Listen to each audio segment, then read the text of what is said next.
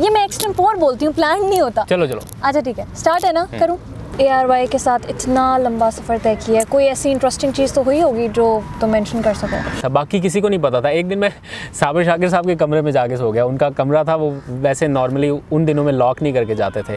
तो ये तो उनको भी नहीं पता है। ये पाँच सौ रुपये वाली क्या स्टोरी है अब्दुल कादिर?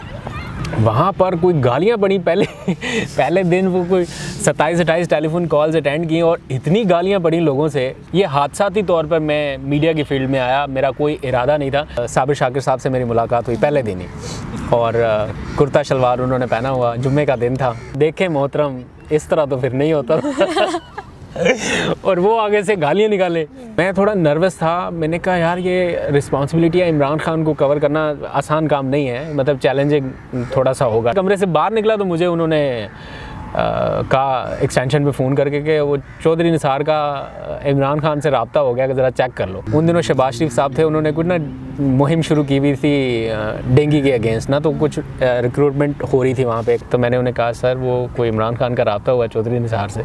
तो कह रहे, मैं क्या करूँ? I was expecting this hello everyone this is Mariam Elahi और मेरे साथ अब्दुल कादिर मौजूद हैं, जिनका यूट्यूब चैनल आप देख रहे हैं। और आज का ये व्लॉग उनके टिपिकल व्लॉग्स की तरह नहीं होगा, इतना ज़्यादा रिजिड नहीं होगा, इतना पोलिटिसाइज नहीं होगा। हम इनके बारे में बात करेंगे और बहुत से ऐसे सवाल जो आप सोशल मीडिया पर इनसे करते हैं, इनकी यूट्यूब वीडियो के नीचे भी करते हैं। उसके बारे में पूछेंगे अब्दुल कादिर का बैकग्राउंड क्या है मीडिया में कितना टाइम हो गया इनको आते हुए और इनकी स्ट्रगल क्या है। ये सारे दो चार सवाल हैं जिनको आज हम कवर करेंगे। सबसे पहले असल अब्दुल कादिर। वालेकुम मरियम।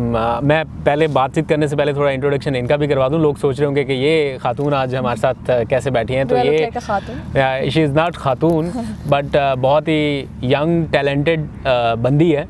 मीडिया में बहुत ज़्यादा इसको इंटरेस्ट रहता है ख़ासतौर पर पॉलिटिक्स से मुतालिक और इंटरनेशनल पॉलिटिक्स पर बहुत गहरी नज़र रखती हैं। मरियम इलाही तो जिस पे हमारी कभी नहीं बन पाती क्योंकि ये डोमेस्टिक पे ज़्यादा फोकस करते हैं। She is democratic Mariam. तो हम बहुत अरसे से प्लान कर रहे थे कोई ऐसी चिट चैट फॉर्मल बात करने का तो वो प्लान आउट हो नहीं रहा था हमसे। तो आज एक थोड़ा अच्छा दिन था तो हमने सोचा चले आपसे बातचीत करते हैं। तो she is my friend since long time it's been years and years कि हम अच्छे फ्रेंड्स हैं और मैं बहुत से मामला पर ये वैसे दिखने में बहुत छोटी हैं लेकिन जो पोलिटिकल सूझबूझ है इनकी वो बहुत अच्छी है। तो मैं बहुत से मामला पर इनसे अक्सर राय लेता रहता हूँ। तो अब्दुल कादिर सबसे पहले मुझे बताएँ कि आपका एजुकेशन बैकग्राउंड क्या है? मैंने सिंपल एफए किया मैट्रिक के बाद फिर बीए किया सिंपल एमए कर लिया ठीक है? एम ए किसमें था? मीडिया स्टडीज़ में। तो मैथ्स कम्युनिकेशन की अच्छा ये प्रॉपर डिग्री है मेरे पास और सही वाला साफ़ी हूँ डिग्री वाला। नहीं, नहीं, वो तो उसमें तो, तो कोई शक नहीं लेकिन ये पाँच सौ रुपये वाली क्या स्टोरी है अब्दुल कादिर? वो मेरे व्लॉग से सुनी आपने। हाँ लेकिन मैं चाहती हूँ कि थोड़ा वजाहती बयान दें। क्या स्टोरी है? पाँच सौ रुपये से क्या याद आता है आपको? अच्छा देखो मैं ये सोचता हूँ कि अगर मेरे पास पाँच सौ रुपया ना होता एट दैट टाइम जब मैं एडमिशन uh, ले रहा था पाँच सौ रुपया एक्स्ट्रा होता अगर ज़्यादा होता। तो मैं शायद मीडिया की फ़ील्ड में ना आता। ये हादसाती तौर पर मैं मीडिया की फ़ील्ड में आया। मेरा कोई इरादा नहीं था।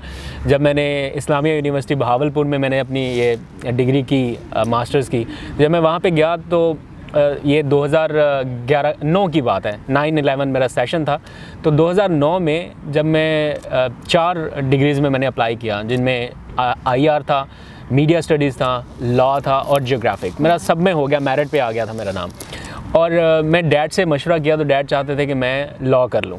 और मेरी उस टाइम कोई ऐसा क्लियर कोई गाइडलाइन नहीं थी तो इसलिए मैंने कहा, चलो डैड की ख्वाहिश है तो लॉ कर लेते हैं। तो आखिरी तारीख थी जब मैं फ़ीस जमा कराने गया बहावलपुर में यूनिवर्सिटी में। तो उस टाइम पे उनकी जो फ़ीस थी लॉ की वो पाँच सौ रुपया ज़्यादा थी। उन पैसों से जितने मेरे पास थे उस वक्त। कोई मेरे पास सात हज़ार चार सौ समथिंग कुछ पैसे थे उनकी सात हज़ार नौ सौ के अराउंड कोई फ़ीस बन रही थी। पाँच सौ रुपया कम पाँच सौ रुपया कम था। तो उस टाइम पर ये ईजी पैसा और ऑनलाइन बैंकिंग और इस तरह का कोई फौरी तौर पर मनी ट्रांसफ़र वाला भी कोई सिस्टम नहीं था। मैं किसी दूसरे शहर से बहावलपुर में आया था मेरे पास उस टाइम कोई ऐसा ज़राए जो होते हैं वो भी नहीं था कोई कि मैं किसी से पैसे ले लूँ शर्म भी आती थी किसी से मांगने में। और ना मैंने घर में बताया किसी को कि मुझे पाँच सौ रुपये फ़ौरी तौर पर चाहिए कि वो मुझे ऑनलाइन बैंक से भेजते कुछ करते। तो उस वक्त मैंने सोचा और मेरे पास जो ऑप्शन था वो ये कि मैं जिस जो मेरे पास पैसे हैं उनमें किसकी फ़ीस जमा हो सकती थी वो वो वही था media studies really strange because मैं अगर अपने ऊपर देखूँ तो मैं एक पूरा का पूरा कोर्स नहीं चेंज कर सकती जस्ट बिकॉज़ मेरे पास पाँच सौ रुपये नहीं है।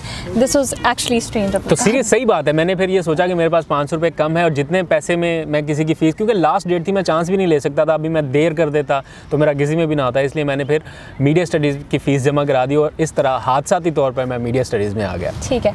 और मीडिया स्टडीज़ के बाद आपका पहला न्यूज़ चैनल कौन सा था जिसमें आपने इंटर्नशिप से स्टार्ट ये ए आर वाई था। एक्चुअली जब मैंने डिग्री कंप्लीट कर ली तो मेरा प्लान कोई नहीं था साफ़ी बनने का या मीडिया में आने का। मैंने ये सोचा था कोई बिज़नेस अपना करूँगा मैं। एक्सीडेंटल जर्नलिस्ट हाँ मेरा मेरा वाकई में दिल था कि मैं कोई बिज़नेस करूँ। और फिर मैं ए आर वाई में आया, यहाँ पर साबिर शाकिर साहब से मेरी मुलाकात हुई पहले दिन ही। और कुर्ता शलवार उन्होंने पहना हुआ, जुम्मे का दिन था, और उन्होंने कहा हाँ नौजवान कैसे? तो मैंने उन्हें बताया कि जी, इस तरह उन्हें पहले कन्वे कर दिया गया था हमारी यूनिवर्सिटी की तरफ़ से कि ये दो तीन लोग आएँगे। जब मैं आया तो भरमार लगी हुई इंटर्नशिप की। आजकल तो इंटर्नशिप मिलती नहीं है ना चैनल्स में, बहुत मसला है क्योंकि इंडस्ट्री बहुत श्रिंक हो गई है, बहुत कम अपॉर्चुनिटीज़ हैं। उस वक्त अच्छा था टाइम अच्छा था।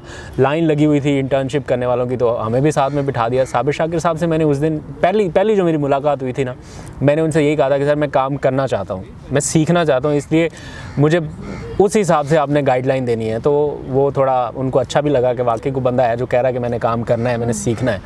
तो फिर मेरे लिए अच्छा मौका था कि मुझे एक ऐसा प्लेटफॉर्म मिल गया ऐसा चैनल मिल गया जिसमें वर्किंग एनवायरनमेंट बहुत ज़बरदस्त था काम सिखाते थे करते थे। और फिर मैं फ़ील्ड में जाना शुरू हो गया लोगों के साथ मिलना जुलना शुरू हो गया मुझे अच्छा लगने लगा हर जगह पर अच्छा प्रोटोकॉल मिलने लगा वो एक्सेस मिलने लगी। रिलेटेड एक इंस्पिरेशनल स्टोरी भी अब्दुल कादर आपकी। कौन सी? जैसे आपने एआरवाई में काम स्टार्ट किया था तो एक इससे एसोसिएटेड एक स्टोरी थी ना जो आप शेयर करना चाहते थे कौन सी वाली कौन सी वाली? मुझे याद नहीं बताओ। um, जब आपके पास अकोमोडेशन नहीं थी। हाँ यस एग्जैक्टली एग्जैक्टली तो वो ये देखो ये हर किसी की ना लाइफ में ऐसा स्ट्रगलिंग पीरियड में मुझे लगता है कि आता है। और जो अब देखो मैं ए में इंटर्नशिप कर रहा था मेरे पास कोई जॉब नहीं थी उस टाइम पे। मैं तो फ्री में सर्विसेज़ अपनी दे रहा था। और मैं उस तरह का बंदा था जो मैं अपने घर वालों को बार बार ये नहीं बताता था कि मुझे पैसे चाहिए मुझे पैसे भेजें। मैं ही चाहता था अब उन्होंने मेरी एजुकेशन कंप्लीट कर दी अब मैं खुद कुछ करूँ। बट मेरे पास जॉब नहीं थी उस टाइम मैं कर कुछ नहीं पा रहा था तो वो मुझे जितने पैसे मिलते थे उनसे मैं उन, उन्हें कभी नहीं कहता था कि मेरे पास कम है पैसे बट मैं उसमें गुजारा करता था जितना मिलता था। तो वो चंद हज़ार रुपये उस टाइम मुझे मिलते थे। 2011 में मैं आया था यार भाई में। तो मुझे जितने पैसे मिलते थे, उनमें मैं गुजारा करता था। अब इस्लामाबाद में मेरा कोई जानने वाला नहीं था, कोई मेरी जान पहचान नहीं थी। तो मेरे पास रहने के लिए कोई जगह नहीं, जहाँ पे कहीं, यहाँ पे आप रह सकते हैं। वो बहुत महँगी महँगी जगह हैं इस्लामाबाद में। यहाँ पे रेंट बहुत ज़्यादा है, फिर आप खाना पीना फिर आपका पहनने का आस, बहुत ज़्यादा खर्चा था। और मेरे पास बहुत लिमिटेड बजट था तो मैं फिर क्या करता था कि ऑफ़िस में ही वो जो हमारा न्यूज़ रूम होता था, उसका फर्श और सामने एसी लगा हुआ होता था। तो जब रात को 12 बजे सब चले जाते थे, ऑफ़िस में कोई भी नहीं होता था तो मैं तब वहीं पे ज़मीन पे लेट जाया करता था। एक सराना मुझे मिल गया था कहीं से तो वहीं पे मैं लेट जाता था और सुबह सबके आने से पहले पहले स्वीपर के आने से पहले सात बजे मैं उठ जाता था। तो वो सुबह सात बजे से लेकर रात बारह बजे तक मैं कंटिन्यूसली फिर काम करता था। लोगों को ऐसा लगता था यार ये बंदा यहीं पे हर टाइम काम कर रहा है हर टाइम लगा हुआ है। और मेरे मेरे पास करने को था ही कुछ नहीं। तो मेरे पास जितना तो वक्त था office तो मैं काम ही करता था। पता नहीं होता था कि आप यहीं सोते हैं। कुछ एक दो लोगों को पता था जो लोग जिनको ये पता था कि यार इसके पास अभी रहने के लिए जगह नहीं है या जिनसे मैंने ये शेयर किया हुआ था। बाकी किसी को नहीं पता था। एक दिन मैं साबिर शाकिर साहब के कमरे में जाके सो गया। उनका कमरा था वो वैसे नॉर्मली उन दिनों में लॉक नहीं करके जाते थे। तो ये तो उनको भी नहीं पता है तो वहाँ पे सोफा तो पता चल जाए कोई बात नहीं अभी खैर है। तो वहाँ पे सो क्लास नहीं होती वहाँ पे सोफ़ा लगा हुआ था। तो मैं गया और जाके उधर सो गया। क्योंकि और उस टाइम जगह नहीं थी लेकिन फिर बाद में मैंने रियलाइज़ किया कि मुझे ये नहीं करना चाहिए। तो फिर मैं वापस न्यूज़ रूम में ही उधर फर्श पे सो जाया करता था वहीं से उठ जाता था। तो ब- मुश्किल टाइम था वो। मैं बहुत देर देर तक लंबा मीलों पैदल सफ़र करता था इसलिए कि दस रुपये बच जाएँ बीस रुपये बच जाएँ। सोच बड़ी थी कि मैं बिज़नेस करना चाहता हूँ, लेकिन उस वक्त मैं ये सोचता था कि कैसे करूँगा ये सब कुछ? अगर अगर यहाँ से मुझे इंटर्नशिप की डिग्री मिल भी जाती है तो मैं प्रैक्टिकल जर्नलिज्म में शायद ना हूँ, लेकिन मैं करना बिज़नेस है। अब कैसे करना है, उसकी मैं प्लानिंग करता रहता था। मेन मीन मैं एक आपको और इंटरेस्टिंग बात बताता हूँ। जब मैं ए में था इंटर्नशिप मेरी जारी थी, और पैसे वैसे इतने मेरे पास थे नहीं। तो सोचे तो बड़ी आती थी कि ये भी करना है, वो भी करना है। तो मेरे जो फ्रेंड्स थे, कुछ अच्छे दोस्त थे, उन्होंने मुझे बड़ा सपोर्ट किया। उन्होंने कहा कि तेरी जॉब के लिए हम कोशिश करते हैं। वो तो मेरा एक लाहौर में दोस्त था। उसने ना मेरी सीवी मेरे से ले रखी थी। एक दिन मुझे अचानक उसकी कॉल आई। उसने कहा कि तुम्हारी जॉब होगी टेलीनॉर में ना, सुबह तुम्हारा इंटरव्यू है। बस तुम आओ फॉर्मल सा है इंटरव्यू है फॉर्मेलिटी है, बस तुम्हारी जॉब होगी। मैं बड़ा खुश हुआ। मैंने ए में किसी को भी नहीं बताया और मैं लाहौर चला गया। अपना यहाँ से बोरिया बिस्तर उठा के। तो टेलीनॉर के हेड ऑफ़िस में। उन दिनों शहबाज शरीफ साहब थे, उन्होंने कुछ ना मुहिम शुरू की हुई थी डेंगू के अगेंस्ट ना तो कुछ रिक्रूटमेंट हो रही थी वहाँ पे कोई ऐसे कॉल सेंटर पे लोगों को हायर करना था जो डेंगू से रिलेटेड कैंपेन में आ, थे। तो मैं जब वहाँ पे गया उन्होंने मेरा इंटरव्यू वगैरह लिया और आ, मेरी डिग्री देखी और वो टाइपिंग स्पीड सारा कुछ जो मैं यहाँ से सीखा था तो उन्होंने कहा यार ये बंदा पढ़ा लिखा भी है अच्छा भी है इसको हमें टेलीनॉर कॉल सेंटर में डालना चाहिए बजाय इसके हम इसको डेंगू कैंपेन वाली उसमें डाल दें। तो मैं कॉल सेंटर में चला गया। ये तो मुझे भी नहीं पता कि कॉल सेंटर में भी तुमने कहा। हाँ मैं बता रहा हूँ ना तो ये मेरी जॉब थी एक दिन की। कॉल सेंटर में उन्होंने हमें ट्रेनिंग दी सारी और उन्होंने कहा कि जी कस्टमर को आपने कुछ नहीं कहना, जो आपको कोई भी कुछ कहे, बुरा भला कहे, कुछ भी आपने कुछ नहीं कहना आगे से, आपने बस बड़े प्यार मोहब्बत से बात करनी है। तो पहली पहली जॉब थी, बड़ी एक्साइटमेंट थी कि जॉब हो गई, पैसे मिलेंगे मैंने अबू को भी बता दिया कि अब जॉब होगी टेलीनॉर में, लाहौर में अपने दोस्त के पास था। एक दिन की ट्रेनिंग हुई, अगले दिन जॉब पर और वहाँ पर कोई गालियाँ पड़ी पहले पहले दिन वो कोई सत्ताईस, अट्ठाईस टेलीफोन कॉल्स अटेंड की और इतनी गालियाँ पड़ी लोगों से। किसी का बैलेंस कट गया है, किसी का वो कोई मसला है, किसी की कॉल नहीं मिल रही। क्या अजीब व गरीब से लोगों के मसले और वो हम उनको सुना, देखें मोहतरम, इस तरह तो फिर नहीं होता। और वो आगे से गालियाँ निकाले। कि हमारा बैलेंस करेगा अब तुम इधर लड़की हो मैं तुम्हें बता नहीं सकता वो क्या क्या गालियाँ दे रहे थे। बहुत बुरी बुरी थी। Dropped. हाँ हाँ तो मैंने अबू को फ़ौरन फ़ोन करके बताया। मैंने कहा ये तो बहुत पथेटिक किस्म की जॉब है। मैं ये नहीं कर सकता। मैं वापस आऊँगा। तो अबू ने बोला बिल्कुल ठीक है। तुम जैसा तुम्हारा डिसीज़न है जो दिल है वो करो। अच्छा, तो मैं वहाँ से लाहौर से निकला उसी दिन। एक दिन की जॉब करने के बाद छोड़ दिया और उसी दिन निकला और वापस ए में आ गया। और लकीली जब मैं ए में आया तो उसके तीन दिन के बाद मेरा अपॉइंटमेंट लेटर आ गया। ए आर वाई के साथ इतना लंबा सफ़र तय किया है। कोई ऐसी इंटरेस्टिंग चीज़ तो हुई होगी जो तुम मेंशन कर सको? यार बहुत हर दिन एक नया चैलेंज है कुछ इंटरेस्टिंग हर कुछ दिन में होता है। अब्दुल कादिर जो हम स्टार्ट ऑफ़ द वीडियो में डाल सकें नो कुछ थ्रिलिंग यार बहुत कुछ है सब मुझे एट द स्पॉट मैं नहीं बता सकता क्या थ्रिलिंग है। मतलब आप कवरेजेस पे जाते हो बहुत अजीबो गरीब से इंसिडेंट्स हो जाते हैं आपके साथ। आई हैव अनदर क्वेश्चन अगर प्राइम मिनिस्टर की और पीटीआई की बीच प्राइम मिनिस्टर तो वो तीन साल पहले बने हैं। हम्म। अ, मतलब इससे पहले तो पीटीआई थी और उसको कवर करते थे। तो अगर ये बीट ना लेते हम्म। वो एल्स वो इंटरेस्टेड इन देखो मैं सोशल इश्यूज़ के ऊपर न्यूज़ पैकेजेस वगैरह बनाया करता था स्टार्ट में।